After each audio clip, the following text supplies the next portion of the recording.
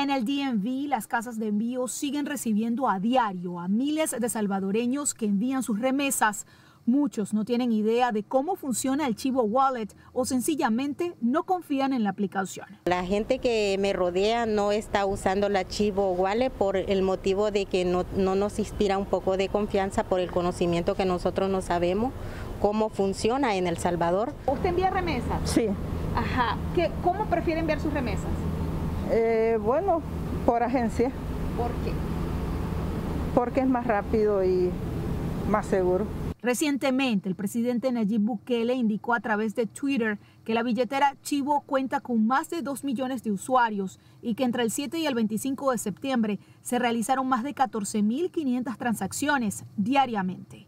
Pero no especificó cuántos de esos usuarios están fuera del Salvador. Manuel Arbaiza es dueño de la casa de envíos Mi Barrio Latin Market, ubicada en Beltsville, y asegura que sus clientes salvadoreños siguen llegando al negocio para mandar dinero a sus familias. Últimos uh, dos meses hemos visto un incremento muy alto de, de envíos de dinero y sí sigue incrementando.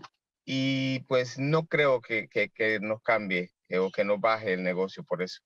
Otros en nuestra región han optado por aprovechar los beneficios del sistema Chivo para el envío de remesas y aseguran que los ayuda a ahorrar.